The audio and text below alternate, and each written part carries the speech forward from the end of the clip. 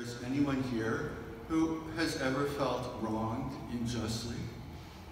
Has anybody ever felt that um, they've been blamed for something that was not their fault? Has anyone ever felt negative emotions rise up? Anger, resentment, frustration? Yeah. Yeah. I'm not. So, how can we deal with this? Can there be reconciliation? Can there be a happy ending after all of that? And the answer is yes. As spiritual teachers from every tradition have been teaching us for thousands of years, the key is forgiveness. As Jesus said in the Sermon on the Mount, forgive us our debts as we forgive our debtors. For if you forgive others their trespasses, your heavenly Father will also forgive you. But if you don't forgive others their trespasses, neither will your heavenly Father forgive your trespasses. And as it says in Luke, forgive and you shall be forgiven. It seems like forgiving and being forgiven are one energy flow. What a familiar concept. And we know it's a universal spiritual law that as a person sows, so they will reap. So we want to ask, in forgiving, who is set free? Well, of course, the supposed offender is set free, but really, also, we are setting ourselves free from the negative situation, the negative emotions. We are claiming our own independence through forgiveness. We are no longer bound to that situation or those people. Do we want to maintain our resentment? Do we want to cultivate thoughts of revenge to get back at them? We want to be tied to this situation and these people who have caused us pain?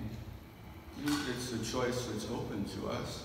Or we can choose forgiveness, which is a decision.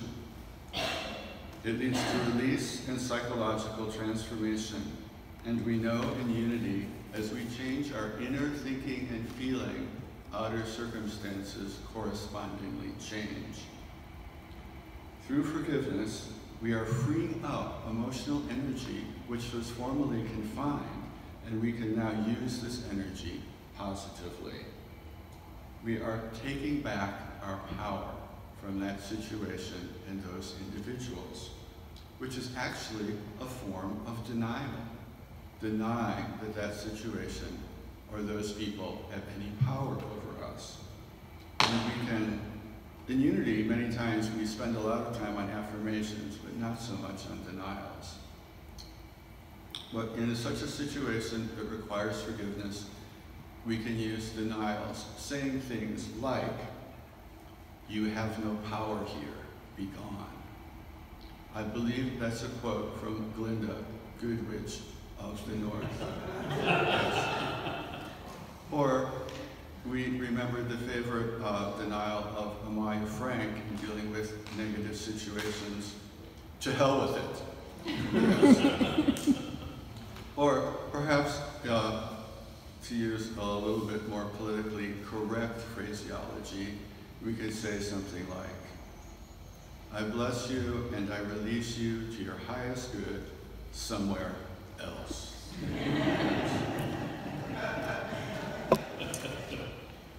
Sometimes forgiving family and friends can be the hardest because they're the closest to us and have the ability to wound us most deeply. Of course, there are many kinds of families. There are uh, obviously uh, genetic, genealogical families, perhaps that we grew up with. Um, there are maybe friends that we have known for many years. There can be uh, collegial families at work. There can be church families. Mm. Yes. There can be many kinds of injuries and hurt. But if we can get there, the answer is forgiveness. As an example of forgiveness, I would like to review the story of Joseph from the Hebrew Scriptures as told at the end of the book of Genesis. Joseph was the youngest of 12 sons of Jacob. Those 12 sons eventually fathered the 12 tribes of Israel. Joseph was the youngest and his father's favorite, which caused some resentment with the other brothers. And his father gave Joseph a coat of many colors, which even aggravated the other brothers more. Joseph had a special gift for interpreting dreams, and he told his brothers one day he had a dream that there were 12 sheaves of wheat. And Joseph's sheaf was in the middle, and the 11 other sheaves bowed down to the one in the middle. This caused even more resentment among the brothers. What, are we supposed to worship you? And later on, Joseph had another similar dream where he was a star in the middle of 11 other stars at the center. Well, the brothers had had about enough, and they decided they were going to get rid of Joseph. At first, they were going to kill him, but one of the brothers said, no, we don't want his blood on our hands. So they threw him in a pit, and when some traveling merchants came by on their way to Egypt, they sold Joseph into slavery. They took his coat of many colors, dipped it in blood, and gave it to Jacob, their father, who assumed that Joseph had been killed by some wild animal. Meanwhile, Joseph is carried into slavery in Egypt, where he's sold to a captain of the guard. Joseph is smart and he's capable, and eventually he rises in the household until he becomes second to the captain. While the captain is away from the house, the captain's wife takes a fancy to Joseph and tries to get him to participate with her in illicit behavior, but he will have none of it. One day, when everyone is gone, she approaches him and grabs onto him, insisting that he sleep with her, but he runs away, leaving his garment in her hand, whereupon she raises the alarm and accuses him of trying to rape her, and look, I have his garment as proof. The captain returns and is very angry, and Joseph is thrown into prison. I'm sure this is a really bad moment for Joseph. Okay, first I'm sold into slavery. Now I've been thrown into prison, and I haven't done anything wrong. Well, in prison, he's still smart, he's still capable. He becomes a trustee, he rises up until he becomes second in command to the jailer himself. He seems to have this ability to, um, to rise. While he's in prison, he meets two other prisoners. One is Pharaoh's butler, the one who serves him wine, and the other is one of Pharaoh's bakers. They have both fallen into disfavor and been thrown into the prison. One night, each of them has a dream, and they don't know what it means.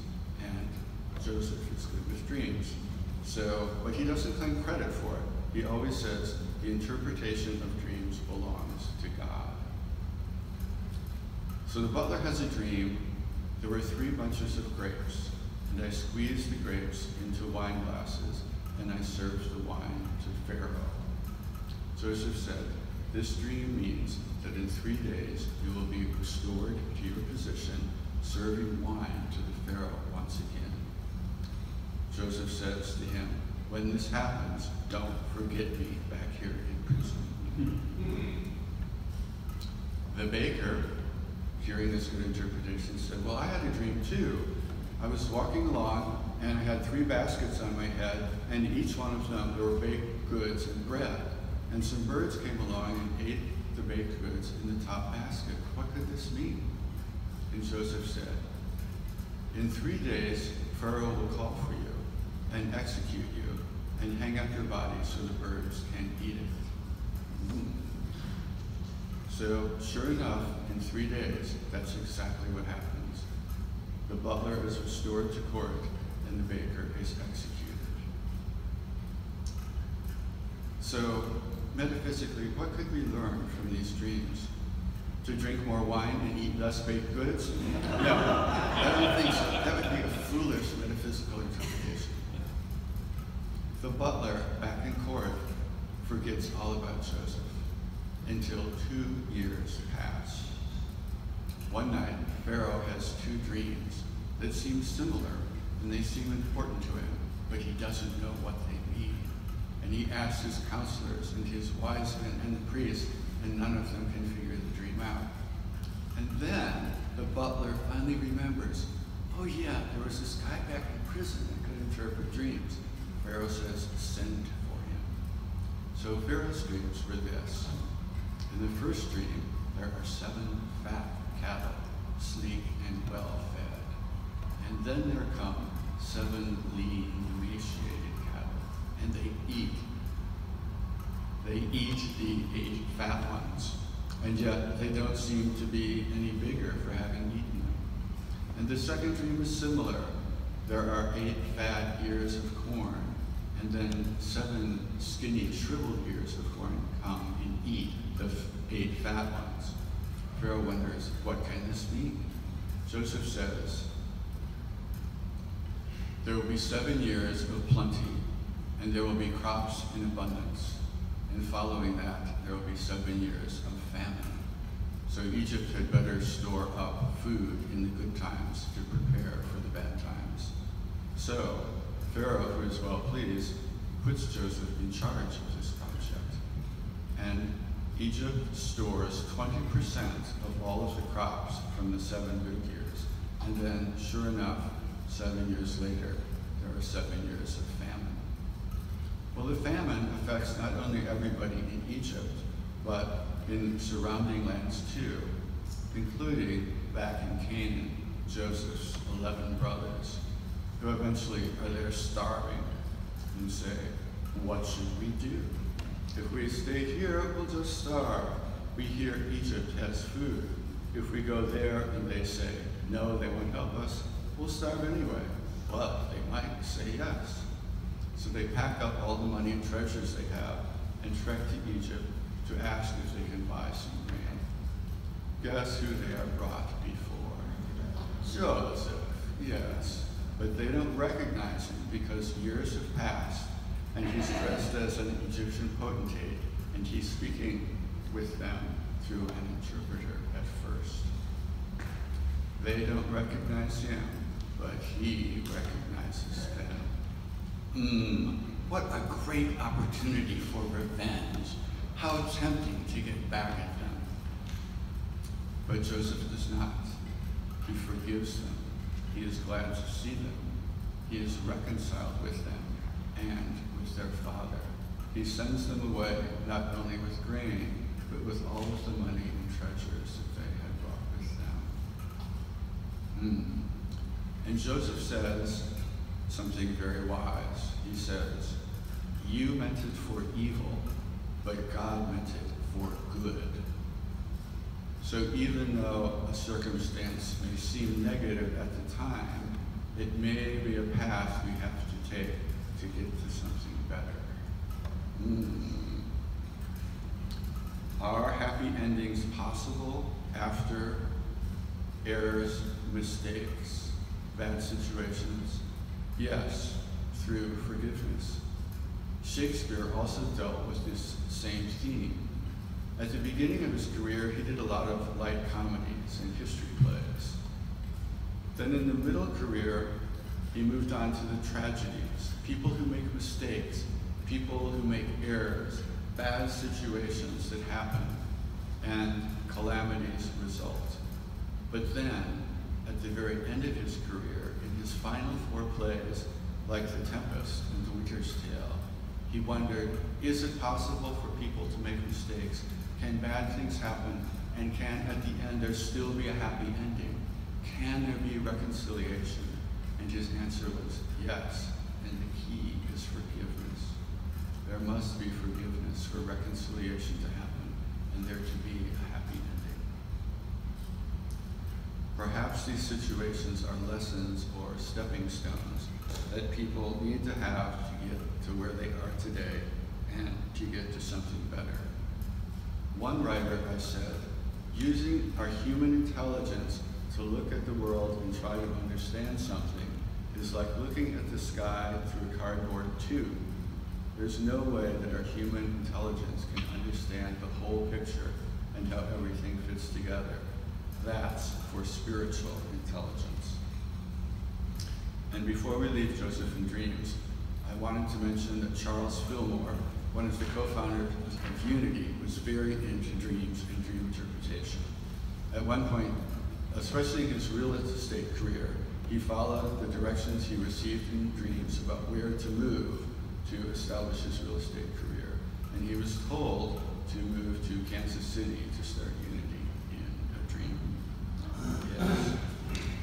So, in releasing, in forgiving and releasing negative emotions, it's a release, it's a denial, it's a cleansing, it's a healing. Charles Fillmore said, it is through forgiveness that spiritual healing is accomplished. And Jesus said, if you bring your gift to the altar when you stand praying, and there remember that you have aught against anyone, leave your gift before the altar and go on your way to first be reconciled with your brother, and then come and offer your gift. One possible metaphysical interpretation is, if we are trying to enter into meditation and there is some thought or relationship that is disturbing us and preventing us from offering our gift and going into meditation, that's probably a topic that we need to deal with. Jesus said, Love your enemies, bless those who curse you, do good to them that hate you, and pray for those who despitefully use you and persecute you, that you may be the children of your Father which is in heaven.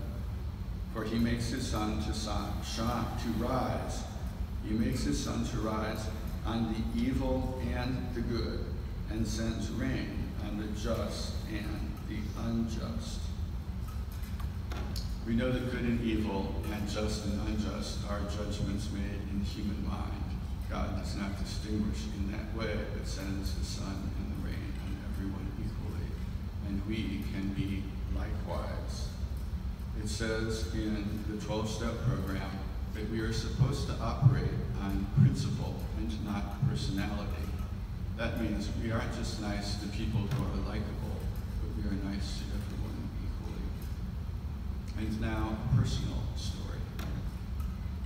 I may have told this one before, but it's a great story, so I'm going to tell it again. At work, I had a colleague who I found irritating. She rubbed me the wrong way. She was the kind of person, if I saw her coming down the sidewalk, I would cross the street and walk on the other sidewalk so I wouldn't have to interact with her. And I found that I was not the only one that had this reaction. Lots of people seemed to have this reaction to her. So I resolved that um, this was not the kind of person I wanted to be. I needed to make my sun shine on everyone equally. And I made the decision that I was going to go out of my way to be nice to her and to be friendly to her. If I was walking down the street on the other side, I would cross the street so I would encounter her. So I did at work, and I was friendly and open, and she was very responsive. And I suggested that um, she would like to talk sometime. And uh, she took me up on that opportunity, and we sat down and we had a long talk. She did most of the talking, and I learned a lot. And I was glad I did it because we can never know and understand a person without knowing their backstory and what they went through to get to where they are today. So that was a very beneficial for me, not only for what I learned, but as a cleansing experience to get rid of those negative emotions. And then the next thing I knew, she took a transfer and she was gone like that. And so I was glad I took my opportunity when it was available. Yeah. It took a definite decision that I was going to change my behavior. Um, Fillmore said, we deny condemnation of others or ourselves. We do not condemn others and we do not condemn ourselves Uh-oh, this gets us into the tricky realm of self-forgiveness. Mm, what a tangled web that is. Yes, it's like being caught in a net or in a bush full of thorns. Have we unintentionally hurt another? Have we perhaps contributed to a negative situation? Were we doing the best that we knew how to do? We overcome by fear or ignorance or confusion or selfishness or laziness? We have convicted ourselves in the court of our own minds and found ourselves guilty. How can we repair the damage that we feel we may have done? A vocabulary word, repentance, means a change of behavior, a change of mind and a change of behavior. When I was teaching and I caught my students in misbehavior, they would say, I'm sorry. I thought what they usually meant was, I'm sorry I got caught. when they said, I'm sorry, my response was always, if you're really sorry, you'll change your behavior, which usually didn't happen.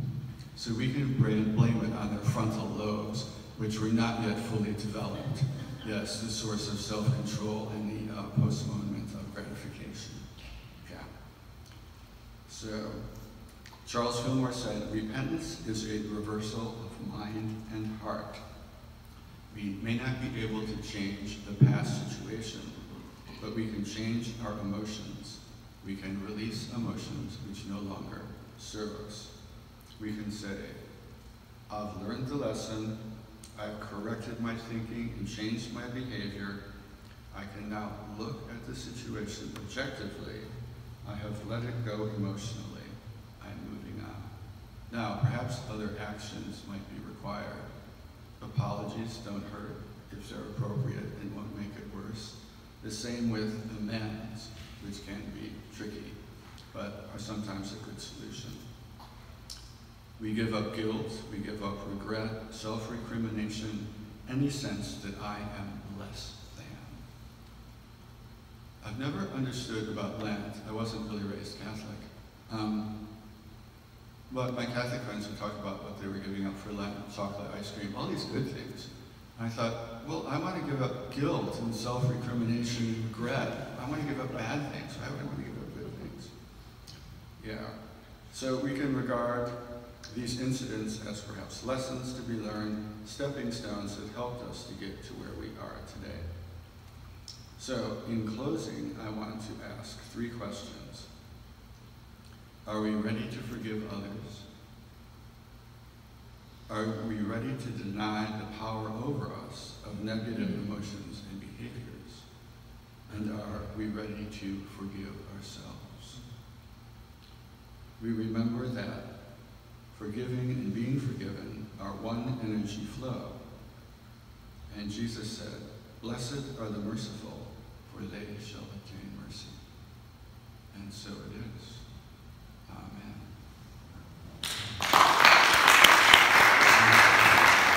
Healing, physical healing. I started singing it and now I want to sing it again.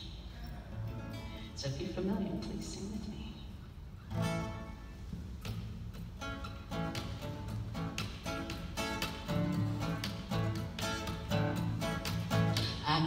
Joy, joy, joy, joy down in my heart. Down in my heart, down in my heart. Got the joy, joy, joy, joy down in my heart. Down in my heart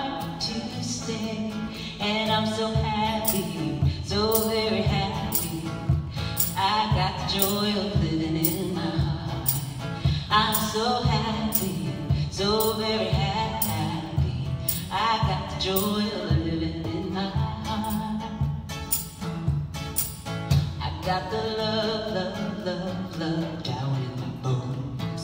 Down in my bones, it's down in my bones. I got the love, love, love, love down in my bones. Down in my bones to stay. And I'm so happy, so very happy. I got the joy